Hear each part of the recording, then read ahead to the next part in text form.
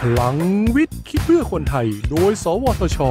ตอน Thailand 4.0 in the making ในยุค Thailand 4.0 จำเป็นต้องใช้วิทยาศาสตร์ เทคโนโลยีและนวัตกรรม เป็นพลังในการขับเคลื่อน ซึ่ง สวทช ได้เตรียมนำผลงานวิจัยเด่น ที่มีส่วนช่วยขับเคลื่อนเศรษฐกิจและสังคมไทย มาจัดแสดงให้ชมกันในงาน Thailand 4.0 in the making ครับ กระทรวงวิทยาศาสตร์และเทคโนโลยี จัดงานขับเคลื่อน Thailand 4.0 ด้วยวิทยาศาสตร์ เทคโนโลยี และนวัตกรรม Thailand 4.0 in the making ระหว่างวันที่ 23ถึง25 พฤศจิกายนนี้ ณ สยามสแควร์ กรุงเทพมหานคร โดยผนึกกำลังบูรณาการทำงานร่วมกับหน่วยงานต่างๆนำเสนอผลงานที่โดดเด่นสำคัญในรอบ 5 ปีที่ผ่านมา โดย สวทช นำผลงานเข้าร่วมจัดแสดงมากมาย อาทิโซน Makers Nation ที่จัดแสดงผลงานจากการประกวดคิดไ i ท์และโครงการ Fab Lab โซน Science for Society นำเสนอผลงานที่เกี่ยวข้องกับสังคมผู้สูงวัย โซน Big Data and Intelligent System เช่น ผลงาน NetPi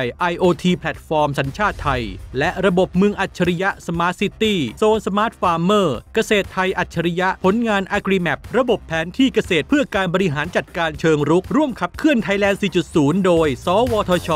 พัฒนาคนด้วยวิทยาศาสตร์ พัฒนาชาติด้วยเทคโนโลยี สอบถามรายละเอียดเพิ่มเติมได้ที่ สวทช 02 564 8000